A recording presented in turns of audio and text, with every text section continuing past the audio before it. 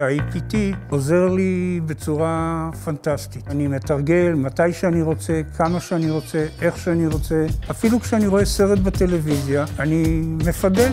ה-APT הוא מכשיר רפואי שמיועד לבעלי מוגבלויות, לעבודה אירובית ולמספר מחלות או מצבים כמו שבץ מוחי, כמו פרקינסון, גיוון שרירים, ילדים עם שיתוק מוחין.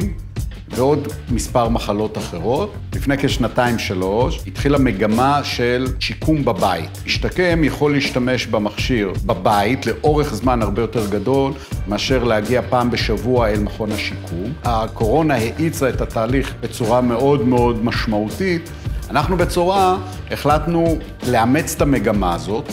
ויצרנו מכשיר שהוא מותאם בית, ולזה בנינו אפליקציה ייחודית שגם נותנת למטופל אפשרות של מוטיבציה, כלומר משחקים, רישום של כל מה שהוא עשה כדי להשוות מה הוא עשה קודם ואחר כך, ויתרה מזאת, היא בעצם מתקשרת עם הפיזיותרפיסט או הרופא דרך האינטרנט, וכך הוא יכול לבנות את השלב הבא של הטיפול.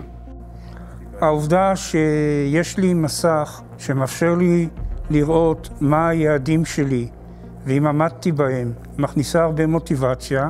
אין ספק שהעבודה שלי על ה-APT עוזרת גם לנושא של סיבולת לב ריאה וגם כמובן לעבודה של הרגליים, וזה מאפשר לי קצת כבר ללכת. המכשיר עוזר למספר מצבים, אני אזכיר שניים מהם. אחד זה המשותקים. אנשים שעברו תאונות דרכים, אה, נפגעו במלחמות, או אנשים שמסיבות שונות יש להם פגיעה נאורולוגית.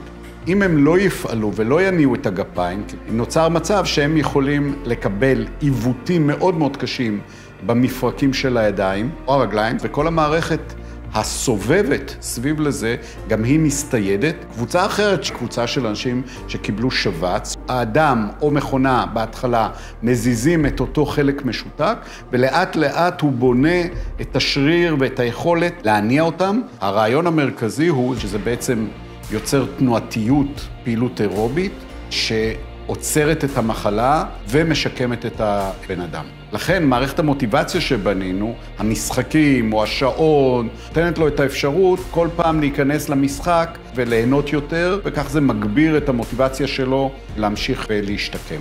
אני מסוגל כרגע כבר ללכת מצד אחד של הבית לצד השני, מה שלא עשיתי קודם, וזה שיפור אדיר. בסוף אני ארוץ.